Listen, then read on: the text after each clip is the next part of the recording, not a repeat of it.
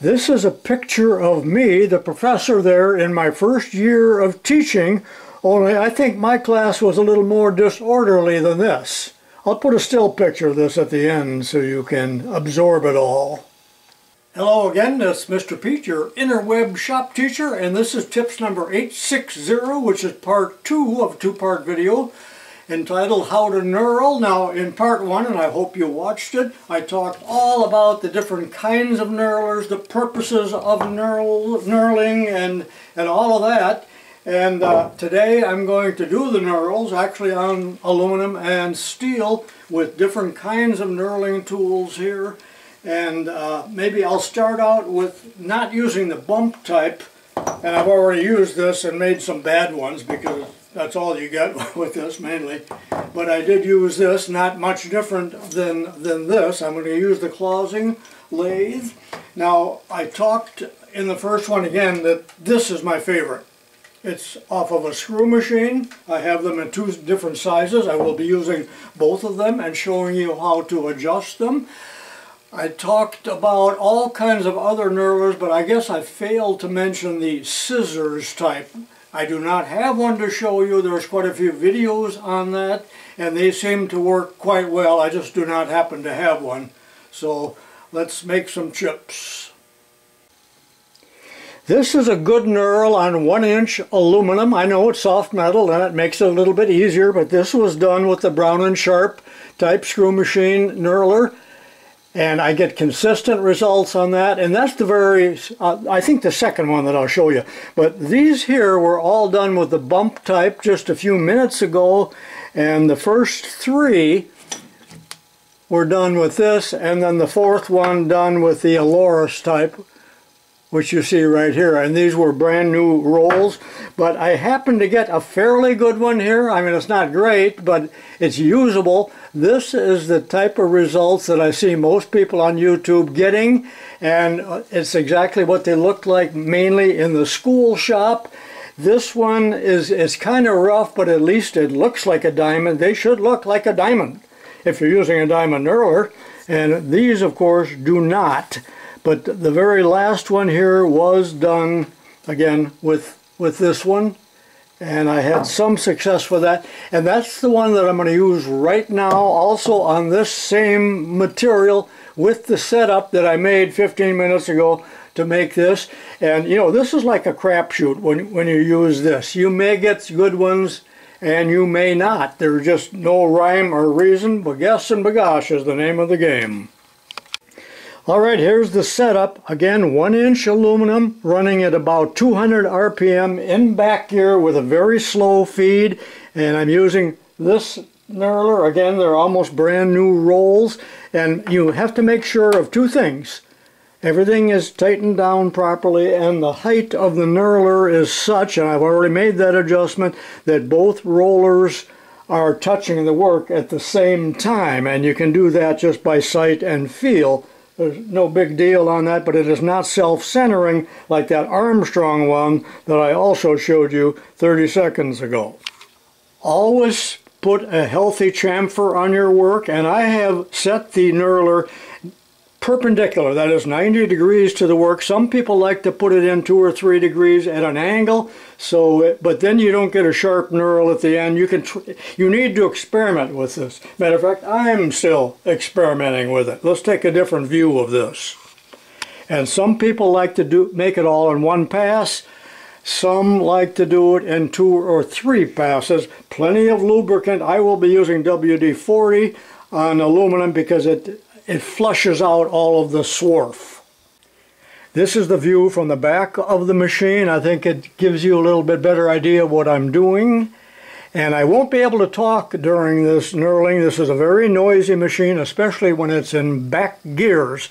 So I'm going to make a full pass and then I will reverse the feed and come back out. And I might have to do that two or three times. Notice that the work is chucked up very short, but the work still will flex. There's that much pressure against the work, and that's one of the things I do not like about this type of knurler.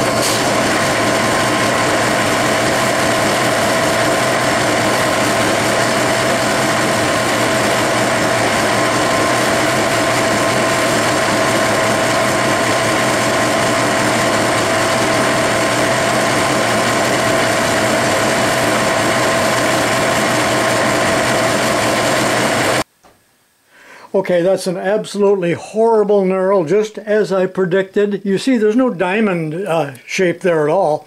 Now, if I had gotten a good knurl with this bump type knurler, you could have knocked me all over with a feather.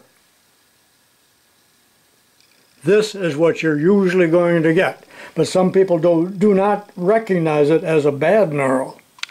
As I was making this knurl, a couple things. Number one, I made three passes over it because I, it just wasn't uh, cutting. And I did power feed both ways, and when you saw me stop the machine, I was switching the feed on the feed change lever from forward to reverse, and the feed rate was about 9 thousandths.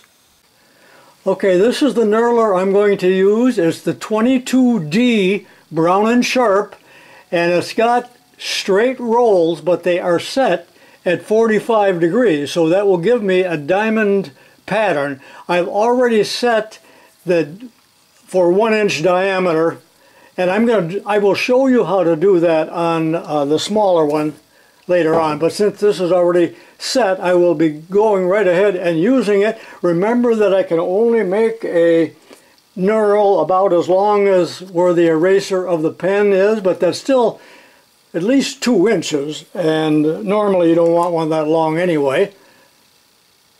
And when I'm done with that, I'm going to reset this so at zero degrees and produce a straight knurl. I'm knurling aluminum at this time. And the shank here, which is one inch, will fit right into this Aloris block and I'll hold it in the Aloris tool post and that allows me also to have power feed. So I'll do that off camera and be right back. Here's the setup. First of all, the Aloris tool block is set perfectly square with the work or perpendicular, however you want to put it. It doesn't matter how much material is sticking out now because it will not flex because the two rollers are opposite of one another. And I have this set on height, on center I should say, this way and it's on center this way. And most of that was done by eyeballing it and baguesse and bagosh there's no good way of measuring it. Now this can be turned in any direction. I think I'll tilt it a little bit like this just for the purposes of photography and then tighten down the tool block securely. And remember I'm using slow speed and power feed and lots of lubricant all right, let's go, and I hope you can see what I'm doing because it tends to be a little dark in there.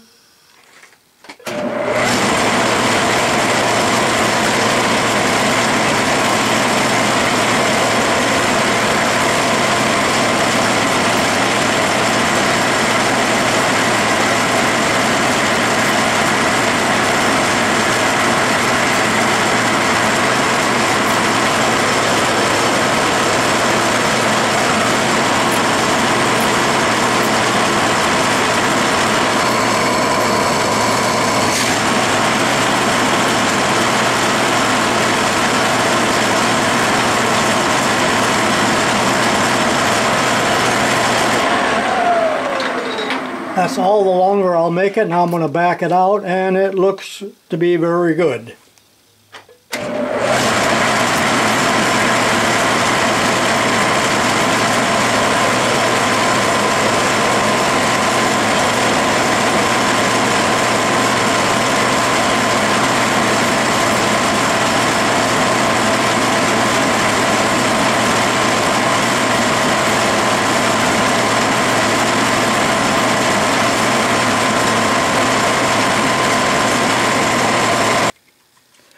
Okay, that knurl is absolutely perfect. As you can see, diamond shaped. So the setting is perfect here and the knurl is perfect. So what I'm going to do now is loosen the screws here and change the rollers to zero degrees instead of 45 degrees. Now 45 gives you a diamond shape knurl. If you set it at 30, you'll get more of a square knurl. I'm not going to do that. I want to put a straight knurl on because we often use a straight knurl and they are good looking as well. if you look at the knurler from this angle, you can see that this roller is set at 45 degrees as proven here by the little protractor. So I will loosen up this screw. I wish they had used a Phillips. And uh, there's a little witness mark there. and I'm going to turn this until it's on zero. And you can see the position of the roller and now I will tighten that screw and lock it and then of course do the same thing here to the other side. And it's ready to go. See that the knurls are straight or at zero and everything else should stay the same as far as the pressure here of the two rollers because I haven't changed that again I'll set this at a little bit of an angle and tighten her down and I'm ready to knurl However, I got to cut this off and bevel it, chamfer it, and then I'm ready to go. I probably could speed up the feed. I doubled the feed rate to about 7 thousandths and turned the RPM up to about 225 and this again is a straight knurl. Let's go.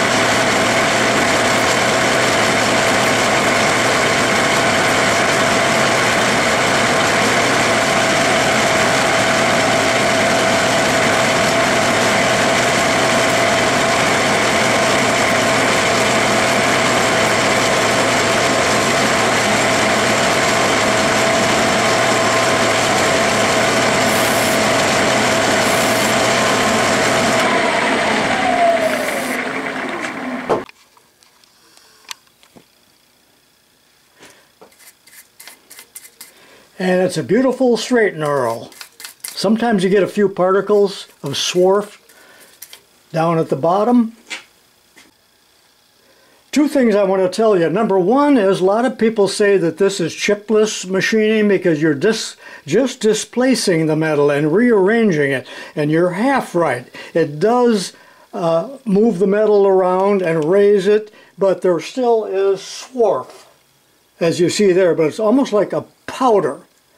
So in some ways we're embossing and cutting. And the other thing is I want to show you how it increases the, di the diameter. So the diameter of the aluminum is just two thousandths greater than one inch, but the diameter here is one inch and 21 thousandths. So it's about 19 thousandths larger here than what it is here. And that was the purpose of me putting straight knurls on tens of thousands of stainless steel motor shafts for fishing motors 50 years ago. Alright, here's the first one that I did in aluminum, the diamond pattern. Can you see how sharply defined the diamonds are? And then here's the straight one. Turned out pretty good. Now, if you do not get a deep enough knurl, of course, you're going to have to do a trial and error with this. You, this one, these have to be set up. And usually you got to practice with, uh, because these are a production knurler, really made for thousands or, or millions of knurls. So there's a big setup time with Brown and Sharpe. But anyway, this is one inch stock. And what I was going to do next was, this is about 7 eighths steel. I was going to do some knurls, reset this, but I decided not to because the video was already too long. But I'm going to take the other one here, and it is not set correctly, although it's set at 45 degrees. And I'm going to take some, uh, where did I put it here? It's about 3 eighths stock and I will have to set this off camera because again it's trial and error and it takes some time. Now this is a three quarter shaft as opposed to the one inch so I'm going to use this tool block to hold that and this is an A size, this is a B, so now I have to switch a tool, Aloris tool blocks posts as well. So that will all be done off of camera, including adjusting the height and the setting here, blah, blah, blah. There's just a lot to that. You don't need to see it all. This material is free machining 7 16 round stock and I've already set the rollers. Again, they're at 45 degrees and I did get what looks like a pretty good diamond knurl and this is a finer knurl than what I made on the aluminum. So now I will lock this in place. And by the way, they used Allen screws here. I like that a lot better than the slotted screws. And I will cut this off and put a knurl on there that's about an inch long and I'm using uh, cutting oil this time, not uh, WD-40. And you need oil constantly.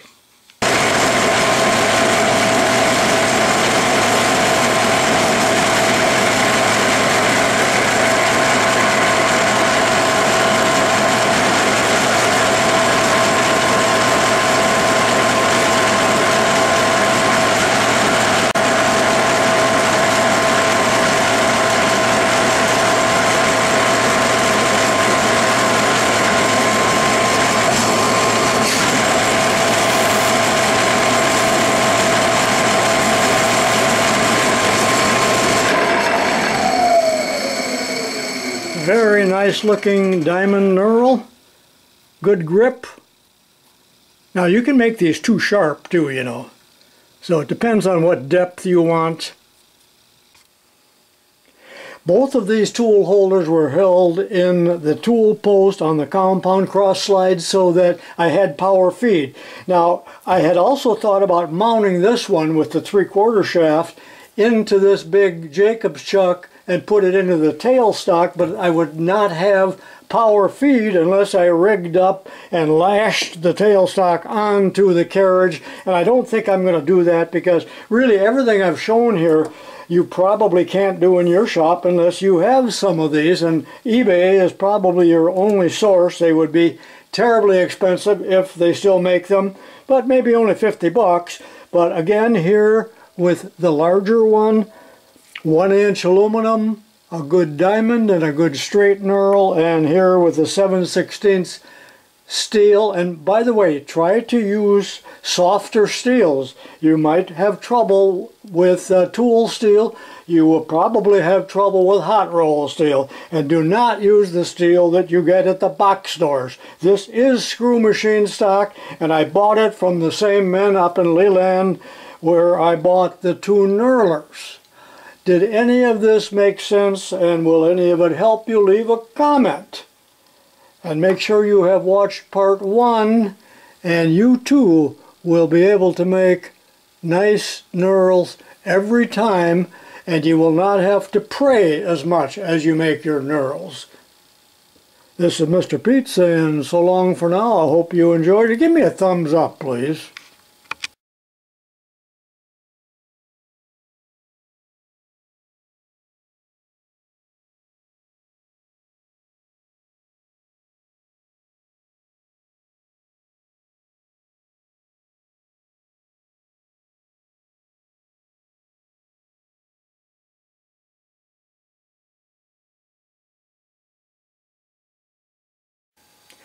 And here I am in my second year of teaching where I've had a little more experience. Not quite as much mayhem.